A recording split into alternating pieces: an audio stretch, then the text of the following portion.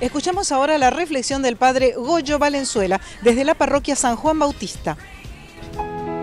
En una oportunidad San Juan Crisóstomo veía cómo la gente arreglaba el altar para la misa, ponía manteles de seda hermosos, flores hermosas y entonces San Juan Crisóstomo le pregunta, ¿ustedes quieren realmente cuidar el cuerpo de Cristo? Sí le dijeron estas personas, bueno, él respondió, miren alrededor suyo, miren a sus hermanos que sufren frío, que sufren desnudez, que sufren sed, que sufren hambre Allí está el cuerpo de Cristo que necesita ser cuidado y revestido. El Papa dio un mensaje muy lindo en estos días, hablando justamente de lo que es la vida que llevamos. Nos gusta vivir de, de lo provisional, de nada duradero, de nada de compromiso de por vida. Y él decía justamente son aquellos obstáculos que nos impiden vivir como cristianos.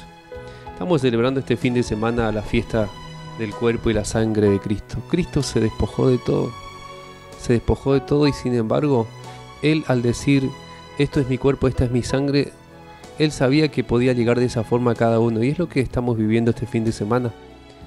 Cada persona que recibe a Jesús es al mismo Jesús que lo recibimos en el corazón y lo recibimos todos y sigue Cristo en el sagrario.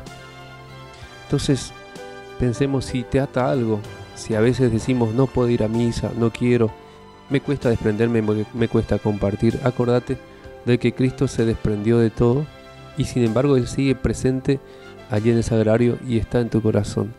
Es bueno que pienses para este fin de semana y que compartas con los necesitados, con tus familias, la mesa misma con la que estás compartiendo ahora, que estás compartiendo el almuerzo. Ya cambiemos si la convivencia los domingos se torna densa, mala. Reconcíliense entre ustedes, compartan con alegría ese pan. Ese pan material que hoy llega y mañana se va. Preocupémonos más bien, preocupémonos más bien de ese pan que nos da la vida eterna y que no se vende ni se compra porque Cristo ya lo regaló con su vida. Dios lo bendiga.